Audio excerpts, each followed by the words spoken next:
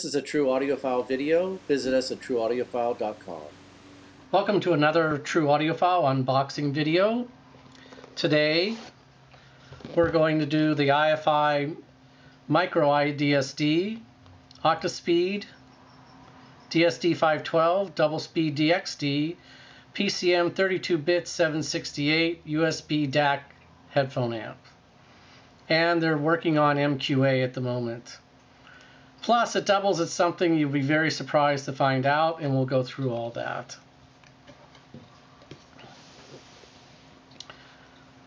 So when you open the box, a very high quality box, similar to an iPhone box. You get your instructions, of course. Very clear, identifying what every switch and knob does. And course, your warranty card. A rubber band to hold your things together.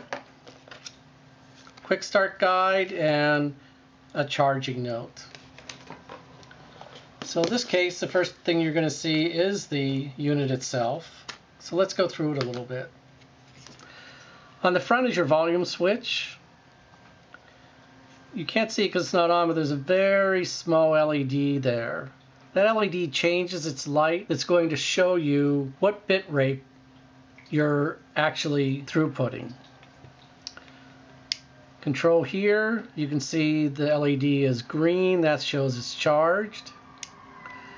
You have your 3D spatial switch, your X boost for your bass, your headphone jack, on the back is the input and charging. This is for your output if you want to use it as a preamp. And it also has a SPDIF input. On here you'll see you have different power modes. Also your polarity and different filter types. And different sensitivity switches. Plus, you can set it for headphone amp or a preamp. The other thing is fascinating is this is not an input, this is actually an output. So you can use your IFI as a backup battery for your phone or tablet. So if your phone or tablet is losing power, you don't know what to do, but in your bag you happen to have one of these, just plug it into this outlet the battery in this will start charging your phone or tablet. So let's see what else they include in here. So this box is going to give you your RCAs. If you use as a preamp, want to stack it, here's your out and inputs. It also comes with a pouch. Pouch has a hole in the bottom. It's not a rip. It's actually there so you can use the unit while you have it plugged in. And this is for optical is what we should say. So let's see what else is in the box. The second box.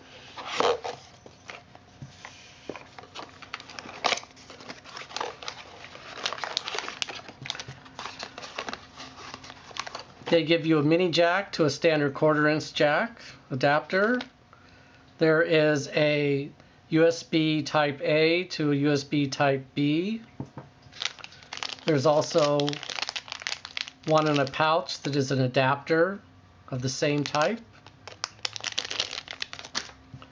Then this is your cable that you're going to use with the unit to charge and to play. So just press it, press it into the back like that. And this will plug into any computer or with an adapter, adapter for your iPhone, the camera adapter, which this will work with, or for the tablet. And for an Android device, the same thing.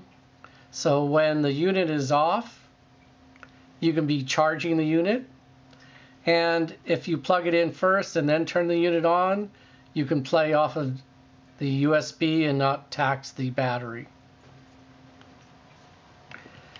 If you want to listen to it on pure battery, of course, you don't have to use the cable. You just plug straight into here. If you have an, you're listening through earbuds, you can just use a three and a half millimeter adapter into here and it plugs right in. All the IFI work on battery, so it's ultra quiet. So that about wraps up what we have with the IFI. It's a little over $500. It's a sensational product. It has no compromise on the build quality and the parts used. Preamp, out, SPDIF in, lots and lots of different optimizations so you can make it exactly the way you want to hear it. Thanks for watching and we'll see you soon.